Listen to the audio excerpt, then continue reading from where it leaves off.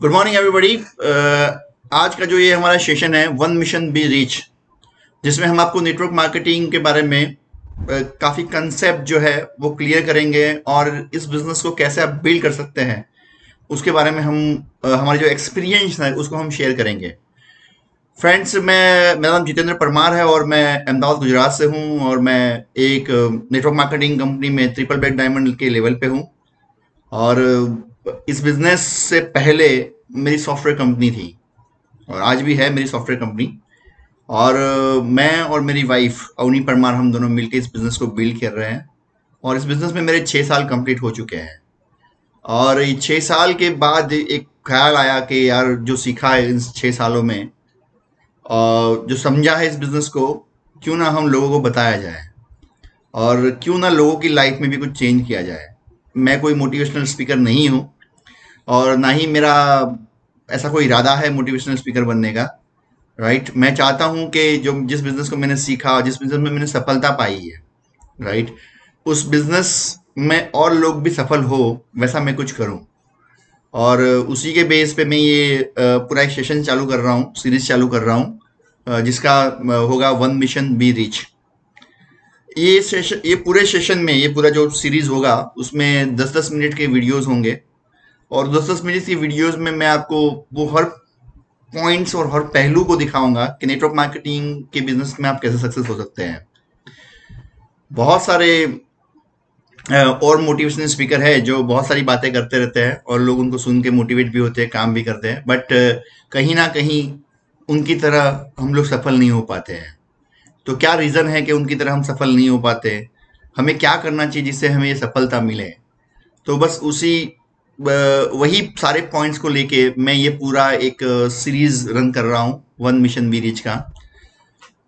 इरादा तो ये है कि भाई, आपको छोटे छोटे बातें बताऊँ मैं, जो बातें जो बातों से आपकी लाइफ में कुछ परिवर्तन हो और आपके जो नेटवर्क मार्केटिंग बिज़नेस के बारे में आप सोच रहे हैं ना, उस बिज़नेस में आप कुछ ग्रो कर पाए मैं अपने बारे में थोड़ा और डिटेल में बता देता हूँ, जिससे आपको पता चले कि जो बंदा बता रहा है, वो क्या है, जिसके मेरा आपको पता चले कि कितना इम्पोर्टेंस है मेरा बोलना और कितना आपको उसको सीरियसली लेना चाहिए। ये भी जानना ज़रूरी है। मैं नेटवर्क मार्केटिंग में आया उससे पहले आ, मेरी सॉफ्टवेयर कंपनी थी है अभी भी। वो आ, उस टाइम पे मैं काम कर रहा था बहुत अच्छा काम कर रहा था। यूएस यूके कनाडा यहाँ से हम प्रोजेक्ट लेते थे। काफ़ी अच्छा रन हो रहा था। मैं यूएस भी जाके आया हूँ। और इसके अलावा दुबई, चाइना हांगकॉन्ग सब जगह पे घुमा फिरा हूँ। तो ऐसा नहीं है कि मैं बिल्कुल फ्री आदमी था और ये धंधा मुझे मिला था। ऐसा नहीं था। और बताऊँ कि मोस्टली जब नेटवर्क मार्केटिंग की बात आती है तो लोग समझते हैं कि जो फ्री होते हैं, वो इस बिज़नेस को करते हैं। बाकी जो बिज़ी होते हैं, वो कभी इस बिज़नेस में नहीं आते। बट मैं बहुत बिज़ी था उस टाइम पे।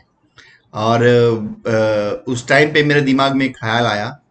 और वो ख्याल ये था कि लाइफ बहुत अच्छी जा रही है, सब कुछ बढ़िया है। बट अगर जो मेरी इनकम सोर्स है, वो एक ही इनकम सोर्स है, मेरी सॉफ्टवेयर कंपनी अगर कल ना जाने कुछ गड़बड़ हो गई या मैं उसको न रन कर पाया, मैं खुद कुछ ना कर पाया तो उस टाइम पे मेरा दूसरा कोई इनकम सोर्स नहीं था। तो ये एक फियर बोले या डर बोले, जो भी ये था, वो मेरे अंदर था, या मेरी नीड थी। तो फिर मैंने उसके लिए सर्च करना स्टार्ट किया कि मैं एक ऐसे बिज़नेस को ढूंढूँगा, जिस बिज़नेस में मेरी अवेलेबिलिटी कम हो और मुझे एक एक्स्ट्रा इनकम का सोर्स मिल जाए। और इसी इरादे से मैंने इस बिज़नेस को स्टार्ट किया था दो हज़ार सोलह को। और जब ये बिज़नेस मेरे पास आया था तो मैंने भी आम लोगों की तरफ़ बोल दिया था कि साबुन तेल बेचने का धंधा है। इस धंधे में कुछ है नहीं, ये नहीं करना चाहिए। इसमें कुछ ऐसा मैंने डेवलपमेंट देखा नहीं है कि कोई बहुत बड़ा पैसा कमाता हो राइट बट उसी टाइम पे मुझे आ, हमारे ग्रेट अपलाइन जो मिस्टर एल्प्रेस गजर सर थे वो मिले जिनका उस टाइम पे कुछ पाँच लाख का चेक था। वो मिले और मैंने उनको देखा समझा तो मुझे लगा कि नहीं यार ये पाँच लाख कमा रहा है तो हम भी कुछ कर सकते हैं। और उसके बाद मुझे डॉक्टर सुरेखा भार्गव जी मिले थे तो उनको मैंने सुना था। उनका कुछ पचास लाख का चेक था उस टाइम पे। तो मैंने बोला ओ इनका पचास लाख का चेक ये पाँच लाख कमा रहा है। इनके बीच में हम कहीं आते हैं।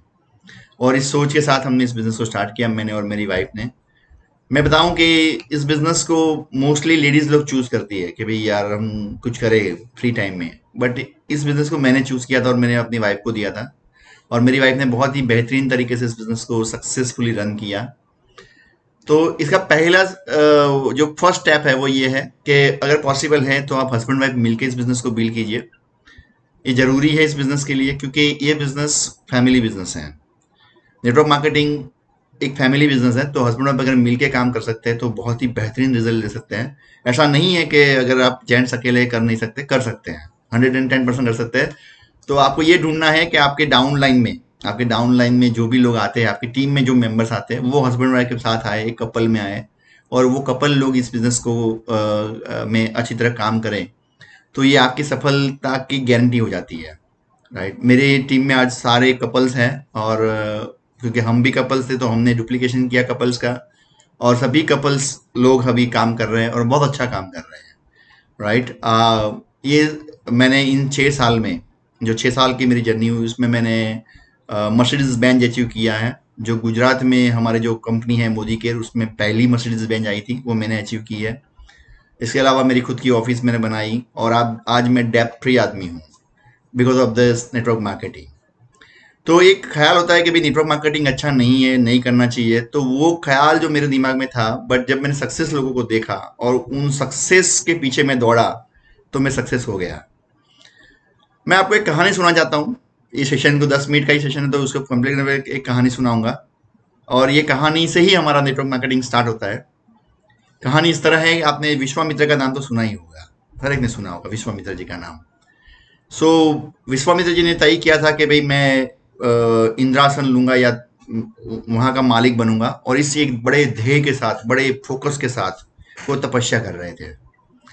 जब ये इंद्र को पता चला कि यार ये प्रॉब्लमेटिक हो जाएगा फ्यूचर में और ये अपने लक्ष्य को प्राप्त कर लेगा तो उन्होंने फिर मेनका को भेजा और मेनका ने डांस किया, सब किया और फाइनली विश्वामित्र पिघल गए और उन्होंने फाइनली मेनका को एक्सेप्ट किया। और अपनी जो लाइफ थी, जो बहुत रिच लाइफ थी मतलब एक एक हाइट की लाइफ थी, दुनिया पूरा ब्रह्मांड की लाइफ थी, वो छोड़ के एक आम इंसान की तरह वो भी अपने संसारिक जीवन में लुप्त हो गए जीने लगे तो ऐसा ही होता है नेटवर्क मार्केटिंग में जब आता है, आप आप बहुत कुछ सोच के आते हैं, आप इतने मोटिवेट होते हैं, बहुत मोटिवेट होते हैं, आपने काफ़ी मोटिवेशन वीडियो सुने होंगे, आपको अपलाइन आपको ये सुनाती होगी, ये वीडियो सुन ले, वो वीडियो सुन ले, सब सुन ले सुन ले सुन ले। आप ज़बरदस्त मोटिवेट हो जाते हैं। आपका एक लक्ष्य होता है, आपका एक ध्येय होता है कि अभी मैं मोटी, इस नेटवर्क मार्केटिंग के थ्रू मैं महीने का लाख रुपया कमाऊँगा, दो लाख कमाऊँगा मर्सिडीज लाऊँगा, ये लाऊँगा, सब आपके दिमाग में होता है। और इसी सोच के साथ ही आप इस बिज़नेस को स्टार्ट करते हैं। बट तभी मेनका डांस करने आ जाती है राइट कहीं से कोई मेनका भेज देता है। आपके घर के प्रॉब्लम्स हस्बैंड वाइफ के प्रॉब्लम्स आपके फैमिली प्रॉब्लम्स आपकी अपलाइन के साथ हुए प्रॉब्लम्स आपके डाउनलाइन के साथ रिलेशन खराब होना कंपनी की पॉलिसीज़ कंपनी का प्रोडक्ट्स का, ये सारे सारे, बहुत सारे, ये सारी मेनका डांस करना स्टार्ट कर देती हैं। और फाइनली आप उस मेनका को सरेंडर हो जाते हैं और आप इस बिज़नेस से बाहर निकल जाते हैं। और आप भी एक आम ज़िंदगी मैंगो पीपल्स लाइफ आप भी जीने लगते हैं।